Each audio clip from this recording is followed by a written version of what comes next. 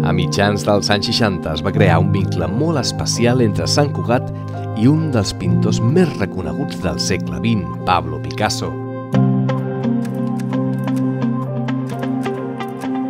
L'artista va encomanar la manufactura de la Casa Imat la reproducció en forma de tapís d'un dels seus linòliums. Aquesta col·laboració va obrir la porta a l'Escola Catalana del Tapís per col·laborar amb altres grans artistes com Miró o Guinovart. Però per què es va crear a Sant Cugat aquest tapís de Picasso? Com va ser possible aquest encàrrec en ple franquisme quan l'artista feia dècades que vivia exiliat a França i havia promès no tornar a trepitjar Espanya fins a la mort del dictador? El galerista Josep Canals ha fet una recerca d'aquest tapís que es troba al fons del Museu Picasso de Barcelona, una obra sense referència que fins ara havia estat indocumentada i que estableix un vincle entre Picasso i Sant Cugat. Jo he volgut averiguar per què Picasso es va comprometre amb Sant Cugat, ja que ell era un comunista, era un antirègim, i estem parlant de l'any 65. A mitjans dels anys 60, a la manufactura de la Casa Imat de Sant Cugat s'estava gestant una renovació del món del tapís artístic. El seu director, Miquel Samaranc, buscava la implicació de grans artistes en aquest projecte i gràcies al galerista Joan Gaspar, que representava Picasso a Espanya, va aconseguir una cita amb el pintor a la seva casa de Mougins, a França. Als seus 84 anys, l'artista feia dècades que vivia exiliat en aquest país. Doncs perquè el Miquel Samaran el va anar a veure a França, li va dir que calia implicar-se a l'Escola Catalana de Tapís per donar un impuls a la renovació del tapís no només a Espanya, sinó a Europa. Durant la primavera del 65, una comitiva formada pel director Miquel Samaranc, el galerista Joan Gaspar i la seva dona Mercè Vinyes viatgen a França per demanar a Pablo Picasso una obra per a ser reproduïda en tapís. L'artista els mostra el seu lloc de treball i comenten totes les idees renovadores que es volen dur a terme a Sant Cugat. Picasso accepta participar en l'Escola Catalana del Tapís i decideix cedir una de les obres que té al seu domicili i que pugui ser adient per a ser passada al tèxtil. Buscant l'obra més idònia troben un petit gravat en linòlium, del tamany d'una caixa de bombons i en només quatre colors, groc, vermell, verd i negre, que resulta perfecte per a ser convertit en tapís titulada Natura morta sota la llum i creat al 1962. Aquest linòlium pertany a l'època cubista de l'artista, amb una iconografia similar a la que va fer servir el Guernica.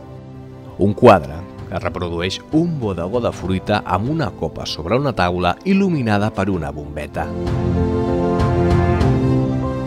Cop a Sant Cugat van treballar el tapís al mestre del taller, Vicente Pasqual, i tres teixidors santcugatencs, Jaume Busquets, Josep Rollo i Joana Emeric, que encara avui expliquen anècdotes al fet. Unes tasques que van comptar amb la supervisió del propi Josep Grau Garriga com a director artístic.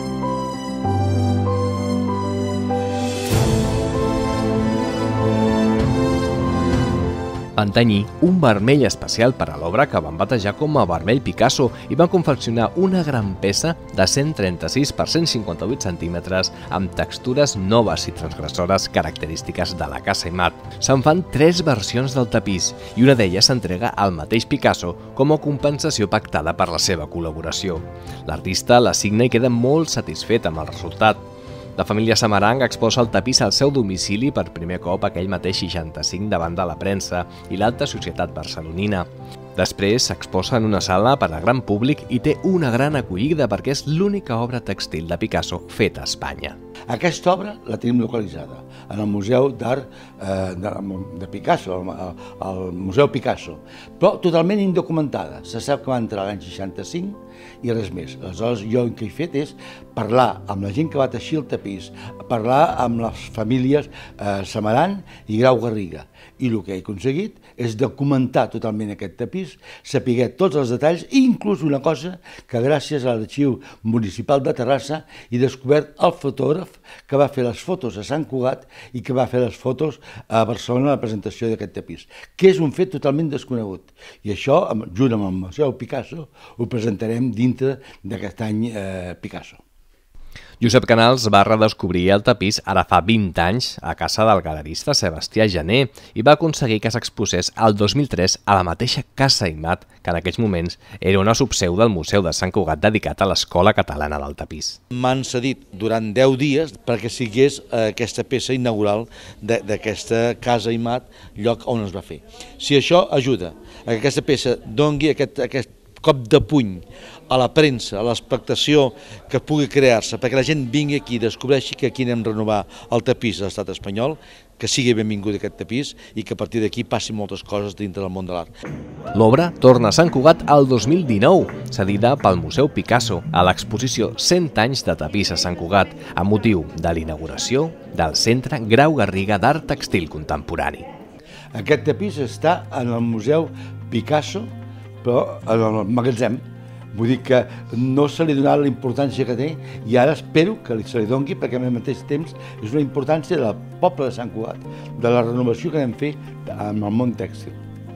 Un curiós vincle entre la nostra ciutat i aquest artista que podrem redescobrir a una exposició que s'està duent a terme a Canals Galeria d'Art amb motiu de l'any Picasso, amb fotografies de la seva confecció i tota la documentació que va treure la llum en Josep Canals, a més de gravats originals de l'artista. A veure, aquest fet és important eh, com a galerista i com a investigador. Vull dir que una peça no estigui documentada i que eh, jo amb els meus 50 anys de galeria la documenti, és un fet que m'ho reconeix el món cultural del país i això és important per, per una persona que diu que he contribuït amb un granet de sorra a documentar un fet que és important per la ciutat en què jo sóc i és important pel país.